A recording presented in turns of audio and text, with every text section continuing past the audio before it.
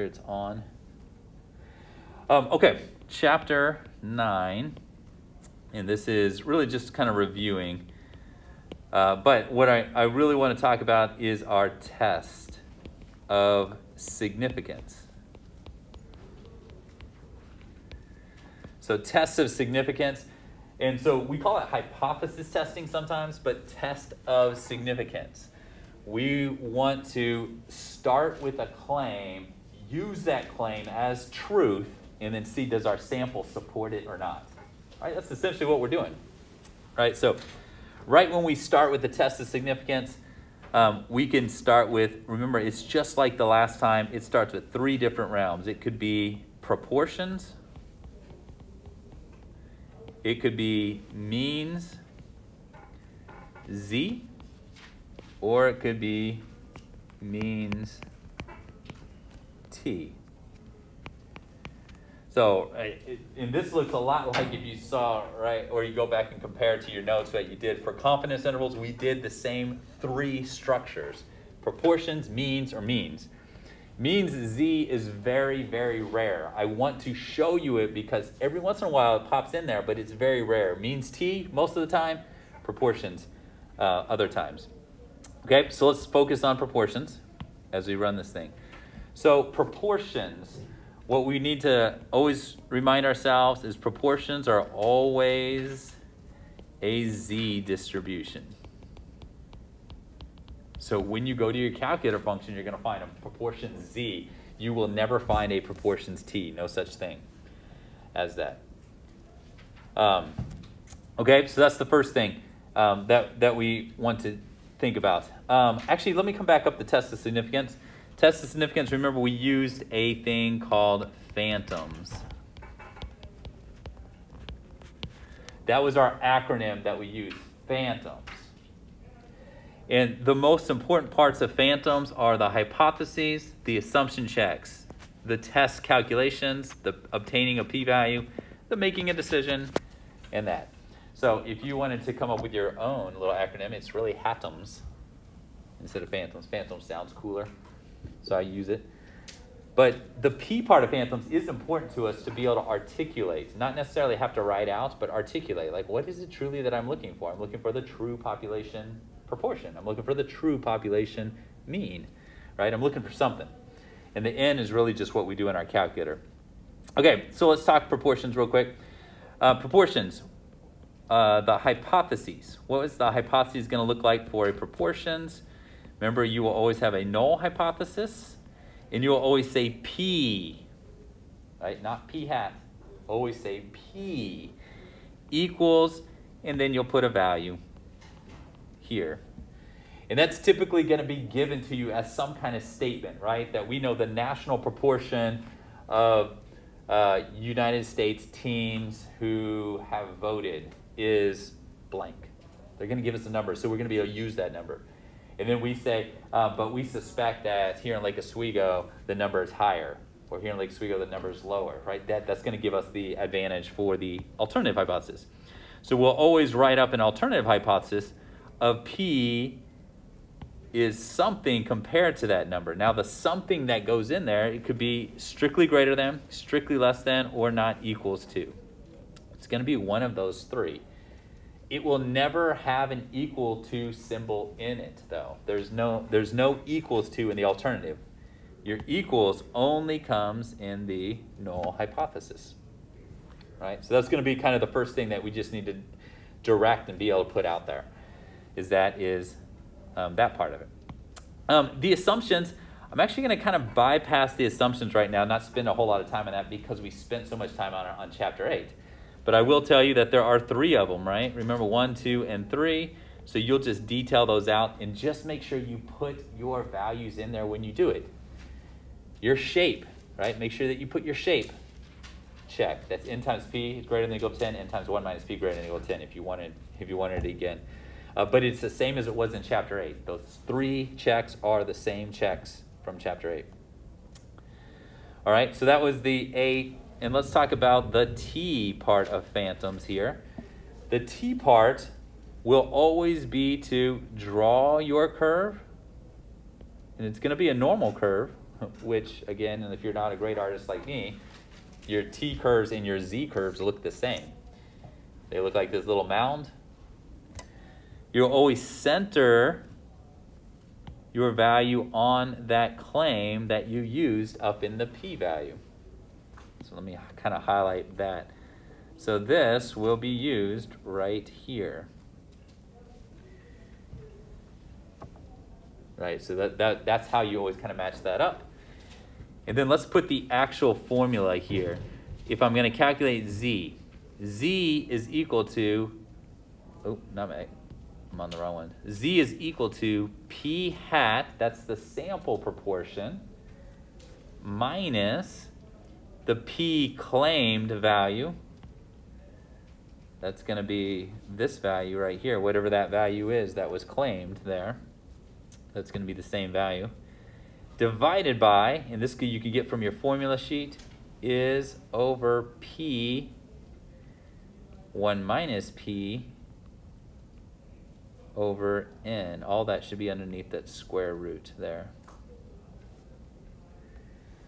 So that's a lot of junk that's kind of underneath that z value. Let me really highlight that for a minute. But do notice, look at the value that we're using here. We're using the claim p-value right here in this spot. We're also going to use it down here in the standard deviation calculation. Because the assumption is that that was true right? Somebody said that number, so we're using it as truth, so we use it in our entire calculation here. So just know that right there. So this is what the T part of phantoms would be. It's going to be draw the curve, shade the curve, show the z-score. So we, we, we would literally show a value finally here for that. But let me go ahead and take, now I'm not doing that stuff by hand typically. Remember, in the calculator, I am going to go find the one prop z test. That's literally what I would be using for that entire section right there. To, I would steal all the values from the one prop z test in my calculator. One prop z test would get you the values there. It also gets you the O part of phantoms, which is obtain a p-value right? That you're, again, one prop z-test will give you that. It will give you that. If you want it to, it will even draw that for you, all right? The one prop z-test really does all that work for you. Your job is just to fill it in and make it look like you did it by hand, right? That's what I kind of say for those of you who are going to take the AP exam, just always fake it. Make it look like you're doing it by hand, right? Just put everything out there and then let your calculator do the work for you. Um, the M part is make a decision. Remember, making a decision is your p-value versus your alpha value. So let me give you the um, connection. If your p-value is less than alpha, then we will reject the null hypothesis, right? It's an automatic. You don't even have to think about it. Just look at the alpha value, look at p-value. If p-value is less than it, reject. If your p-value is greater than your alpha value, then we are going to fail to reject. We don't want to use the word accept. We don't, statistically, what we're not trying to do is accept the null hypothesis. We are literally trying to reject it. And the question is, do you have enough evidence to reject it? If so, you reject it. If you don't have enough evidence to reject it, then you fail to reject it. Then you say, I can't. I can't reject that. I'm not going to accept it, but I'm not going to reject it either. And then summary, is that last part. Just remember, here's the word association here. If we say reject, then in our summary, we want to use the words, we have evidence. And then you'll kind of go from there and put a little context on there. We have evidence to talk about the alternative. If you say fail to reject up above, then you're going to use kind of some words that's going to sound like we do not have evidence. And then we're going to go from there, right? Just keep talking about that. So that is, and, and I tell you what, and, and I'm going to draw this line right here because actually the M and the S is the same. It's going to be the exact same whether you're doing proportions or you're doing means, or when we get into chapter 10, or when you get in chapter 11 and 12. This all this will always stay the same. P-value versus alpha, figure out the relationship, summarize. What does that mean to us? Okay? So this is all the piece right here, this this Haddo part, right? That's the part that kind of changes um, between the different styles here. All right, so proportions, always a z distribution. Think through all the different phantoms pieces. All right, phantoms. All right, let's talk about means if it's a z. Means if it's a z. Versus means if it's a t. Right? So let me kind of put some of the different pieces. Um, means if it's a z, obviously we're doing a z distribution. Means if it's a t, we're doing a t distribution. Why? You're only going to do this if theta is given. If they gave you the standard deviation of the population. That's very rare to be given theta. So otherwise, you're probably going to be thinking about the standard deviation of the sample is given. If they were to give you both, do a z, because then, then you have the theta. But most of the time, they're not going to give you theta. You're going to have to rely on the t distribution here. All right. So what are the things that are consistent? Well, the, the null hypothesis is always going to be consistent between these two, so I'm just going to kind of draw it in the middle. So what does the null hypothesis look like for a means? It's going to say null hypothesis, colon, mu, because we're talking about mu, that's the mean of the population, is equal to some value. And again, they, they will have to throw a value out for you. Here's this value that we know. Alternatively, mu is something about that value. It's going to be greater than or less than or not equals to. So just like it was in proportions, it's going to use up one of the inequality signs. But it will never contain the equal sign. Same thing as proportions.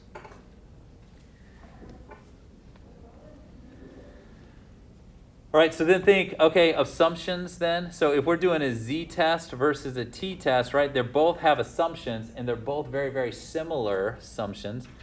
This one is if n is greater than or equal to 30, central limit theorem kicks in. That's a z-test, if you're doing means for z.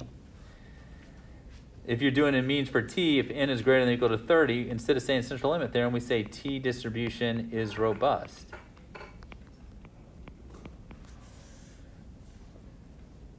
Right, so slight, slight difference, and that's that little tiny bit of difference, and that's what they're kind of looking for on the AP exam. Do you realize that there is a difference between these two means distributions? And it is super tiny, and so that would kind of be your shape check. Remember, if it's less than 30, um, for a Z, they better be telling you something about the population. If it's less than 30 over here, we're typically going to be looking at a data set. We're literally going to like draw out the histogram. This is what it looks like. This is what we got. This is what we know.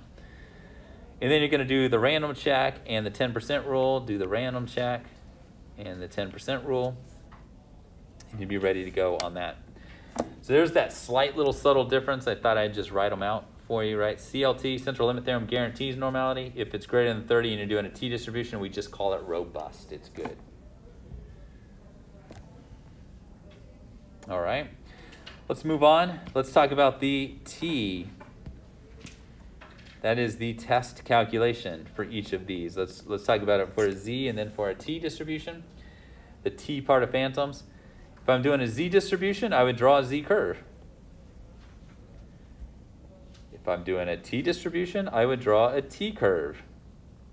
And look how similar they look. I just give it like a little more room at the, at the bottom. That's about the only difference I make because the t-distribution is trying to be normal, but it's not. It's got a little bit more error in each of those wings or those tails that we like to call them. Um, both of these would be centered over the actual, whatever the null hypothesis number that was given. That's where you would center these things. If it was a Z, you would center it over it. If it's a T, you would center it over it. It's whatever this value was up here. Right? That's the value that gets centered here and here. Okay, so here's the other little subtle difference then. Well, if the only other difference comes on if we're doing a z calculation or if we're doing a t calculation. So if I'm doing a z calculation, here's what it looks like. It would be sample mean minus the claimed mean sigma divided by root n. So you see it, sigma divided by root n. Let me actually kind of even highlight on that a little bit. So there's what the t, that's what the, sorry, the z calculation would look like. Let's talk about the t calculation. It would be sample mean minus claimed mean divided by standard deviation of the square root of n.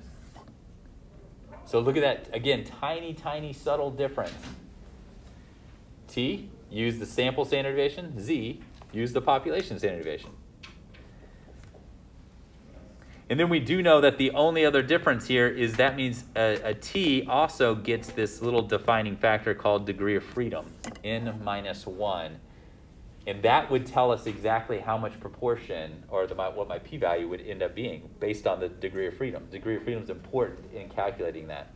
Now your calculator does it behind the scenes, and we'll be okay with letting the calculator do most of the work for us there. Okay? So that would be it. So then let's talk about what do I do in my calculator? If I'm doing this, I'm going to run literally a thing called z-test in my calculator, and that's going to give me this value. I can let it calculate that for me. Or if I'm running a t-test, there's literally a function just called t-test. It would calculate that for me. It would calculate that for me. And those also obtain the different p-values for you. So the O, you'd get a p-value. Here, if I was doing O, I'd get a p-value. And yes, the z-test calculates the p-value for you for both of those. The t-test calculates the p-value for you for that one. So that's kind of the, the big pieces of it right there. And I'm going to tell you for the My Open Math stuff, really know the calculator stuff. The calculator stuff will really get you to where we need to go with this stuff, right? T-test, Z-test, or up here, I'm doing a one prop Z-test. All right, so that's the kind of the differences there. And then instead of me writing the M and the S value again, just remember that it is the same all the way through. So here's what it would be again. P-value versus alpha value. Once you've you made your decision, summarize accordingly with the right um, values there. Okay, so let me just kind of look at this all as one big giant group for a minute. Chapter 9 is built on this foundation right here. So again, first thing that you're going to do, read, is this thing a proportions, is it a means? If it's a means, you got to go one further step. Is it a Z or a T? If you're not sure, it's probably a T. It's probably going to be a T most of the time that you ever do these things. Um, and then you go through that and then just go through your phantoms. This is your phantoms, right? This is your phantoms workout. Um, if you look at chapter 8, you can have your panic. And it should kind of look kind of the same. There's a structure to it. The A part of panic, the A part of phantoms is the same in chapter 8 and chapter 9. We have not changed those. Okay? So just know that. All right, let me also look one last little uh, piece here when we're talking about means T. Sometimes, remember we have this thing called matched pairs data. What happened when we get match pairs data? It is a t-test. It's a means t-test when you do a match pairs data, but there's a couple things that we said, hey, remember these things. This was last class. Uh, that was yesterday, last class. Uh, match pairs data. First thing that I will remind you is only care about the difference data. Right? So if they give us a set like a pre-test score and a post-test score, I don't care about pre-test, I don't care about post-test, I care about the difference. That's all I care about. So I only want that data set, the difference data set. So you only care about the difference data set. Um, match pairs data um, will always have a standard null hypothesis. It will always have a standard null hypothesis. Because we're only looking at the difference data, our standard null hypothesis will be that the average difference is equal to zero. This is always a standard null hypothesis. So use it. You don't even have to, you're like, hey, this is a matched pairs data set. Guess what? Null hypothesis is, is uh, the difference, the average difference is zero. Write it down, figure out what the alternative is, move on. All right, so that's what you'd end up doing there for that. So that's really the only difference for the matched pairs data set. Everything else, keep constructing it just like you would a normal t means thing. These are just the only little caveats to it right here. You'll see one of these today in your, in your data set problem. You'll see a match pairs data set. So I want you to look at the difference column only, and I want you to work it from there. All right? So one last thing then is this thing called, remember we got a thing called type 1 error, and we have a type 2 error. I want you to know those two errors. Be able to kind of formally talk about what is a type 1 error in context, what is a type 2 error in context. So, what is a type 1 error? Remember, it is when we reject the null hypothesis. But find out the null hypothesis is actually true. Right? Because that would be an error if you rejected something that was true. Type 2 error, just the opposite. When we fail to reject the null hypothesis, but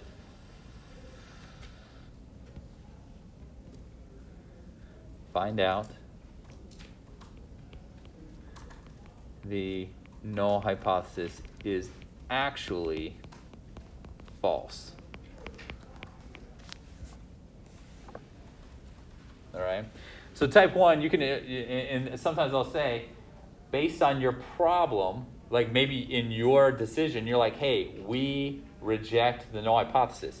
If you reject the null hypothesis, then you possibly made a type one error. You don't know if you made one right at the beginning. You, you'd have to wait and see. Right? And this is how tests are done right now. Like they are doing this exact testing right now on like COVID vaccines and things like that, right? We're doing this constant testing. We could be making an error, right? If we are rejecting claims, making possible errors, we won't know until the future dates. And then we're like, oh, that was an error, right? So if we fail to reject the null hypothesis, we are possibly making a type 2 error here. And so the only other thing I'll tag on here, and then we, we stay with the type 1 error, probability of a type 1 error is equal to your alpha level. So at least this is something you can always hang on to. So if type 1 error is a bad error to make, use a small alpha value. if we don't want to make a type 1 error, use a small alpha. If a type 1 error is, a, is an okay error to make, use a bigger alpha value. It's okay to make it, so use a bigger alpha value. And then I'm not going to show you calculation for type 2 error just because it's really complex and we don't really focus on it too much. We really just kind of stay with the type 1 error here. Okay, so that is really kind of the, the big rundown on what it is that you're doing in